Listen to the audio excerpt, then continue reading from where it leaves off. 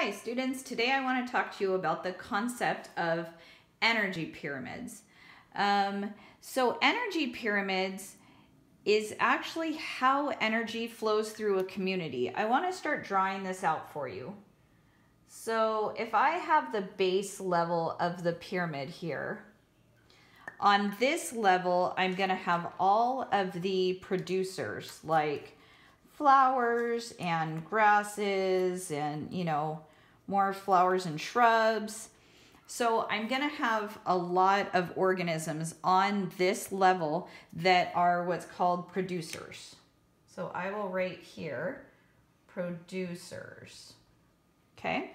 On the next level, the next level up from here is actually only one tenth the size of the level below it. So if I take this, this big rectangle here and I do a tenth of that, at the most it's going to be, and I'm going to kind of make it a little bit taller than it needs to be, but at most that's one tenth of the level below it. And on this level, you're going to have herbivores, animals that eat um, plants. So for that level, I'm going to put um, a gopher and so these animals eat plants, and so you can call those primary consumers. Or you could call them just herbivores. They are organisms that eat um, plants. Okay, then the next level of the energy pyramid is actually going to only be one tenth the size of this level.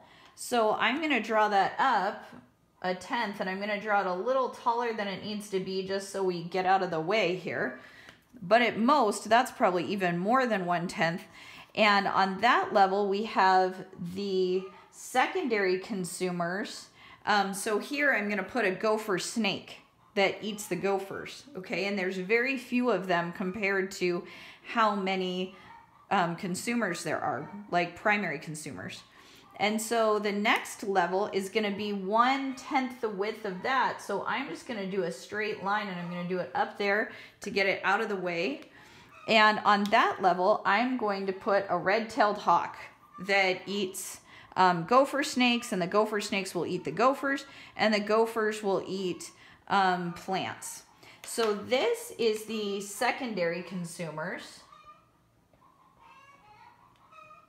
And the top level is the tertiary consumers. And usually there's nothing that only eats red-tailed hawks because there's just not very much energy left higher up um, on this pyramid. So what does this all mean? Is the energy pyramid just a food web or is it more than that? Well, the energy pyramid is actually a lot more than just a food pyramid.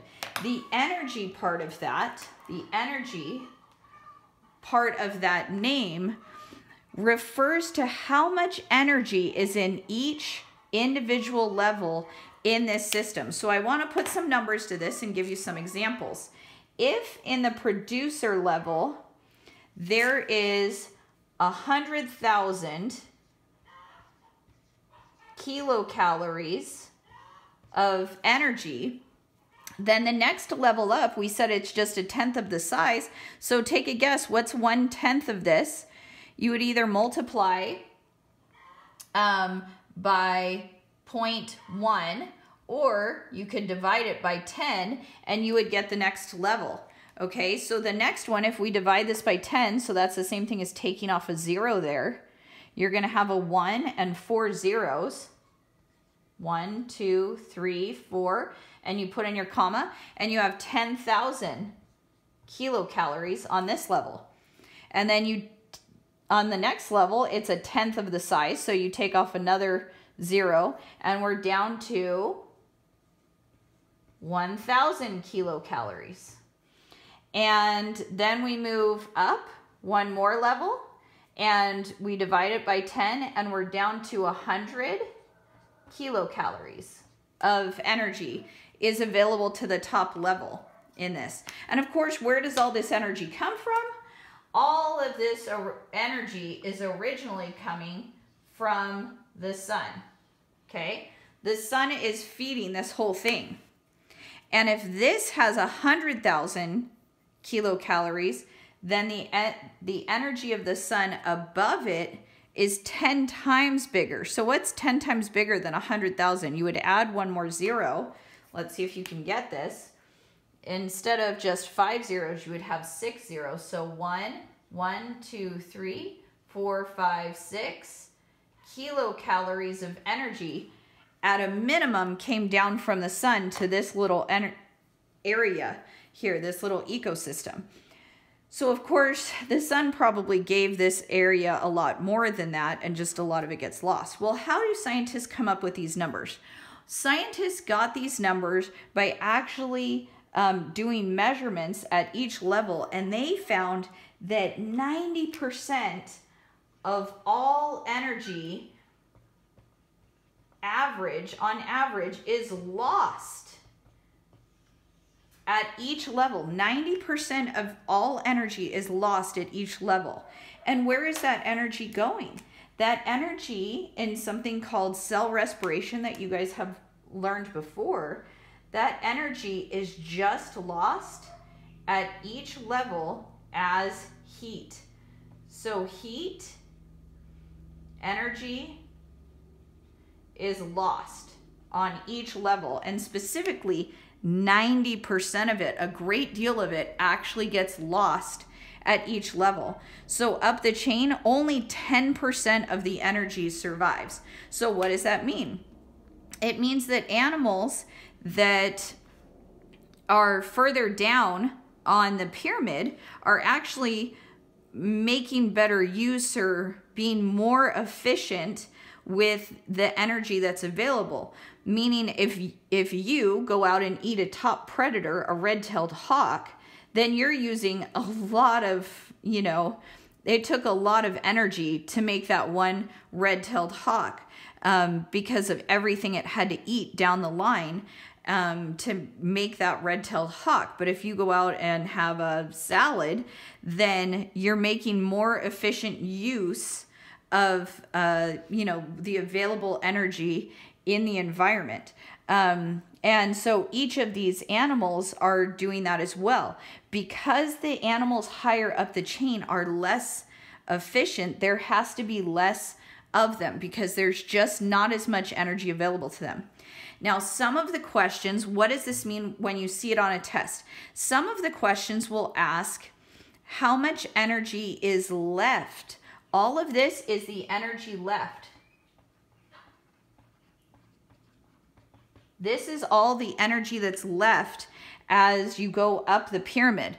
But some questions, so some questions will say, if you go from a producer to a consumer, how much energy is left? Well, the answer is 10,000 kilocalories is left.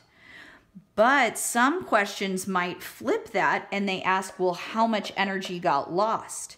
In order to figure that out, you would subtract 100,000 minus 10,000. So you would do 100,000 minus 10,000 and you would get 90,000 kilocalories were lost. Were lost moving from this level to that level. So if they ask you how much energy is left, here's how much energy is left. If they ask you how much got lost altogether, this is how much got left over. They could save it. How much got lost altogether? That's when you subtract these numbers, okay? So um, I wanted to show you a couple energy pyramids that I do not like. Um, the first one is this one. This is from Power School Learning. There's a couple reasons why I don't like it. First of all, most snakes don't just eat crickets. Um, most snakes don't even eat crickets. Um, the other thing that I don't like about this is that um, the section above is way more than one tenth of the size of this section. So it really looks more like a food like pyramid than it looks like an energy pyramid. again, here's another one um, from Encyclopedia Britannica. I like this because it labeled um, each of the levels. It also shows energy being lost from some of these, but not this top level. Another thing I don't like about it is again, it it's a traditional pyramid shape and it should be one tenth the size of the pyramid below it. It's just a visual thing to help you understand. And I think it makes it more complicated when they don't draw it like this and show that it's a pyramid, but it's a weird pyramid, almost like an, a temple rather than, you know, an ancient pyramid. Maybe you'd see like something like this shape and, you know, some uh, temples, um, but not pyramids. I don't know. I don't, I don't know. I don't necessarily like the shape. Um, so that's energy pyramids. I wanted to go over that with you um, so that if you're testing on that soon or struggling with it in your book so that you have a better idea of how that works. Uh, take care and I hope you have a great week.